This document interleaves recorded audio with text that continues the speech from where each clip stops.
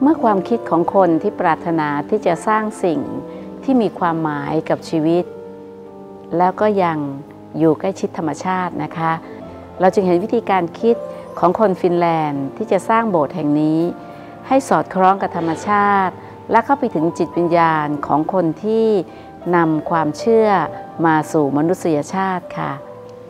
เพลงที่เรากำลังได้ยินอยู่นี้เป็นอีกหนึ่งเสียงเพลง ที่ทำให้คนกลับมาสู่ความสงบค่ะ ที่นี่จึงเป็นทั้งโบสถ์และที่แสดงดนตรี ที่จะทำให้คนหนุ่มสาวที่ก้าวเข้ามาในโบสถ์แห่งนี้ ได้กลับไปฟังเสียงหัวใจของตัวเองค่ะ นี่คืองานถักโลกด้วยธรรมที่เราเดินทางมาที่ฟินแลนด์ เมืองเฮลซิงกิเมืองหลวงที่เป็นปัจจุบันนี้ของฟินแลนด์นะคะ ผู้คนที่นี่สันโดษรักสงบ แล้วก็อยู่อย่างมีวินัย ถ้าคุณจะเป็นคนหนึ่งคนที่เดินเข้าไปในที่ที่หนึ่ง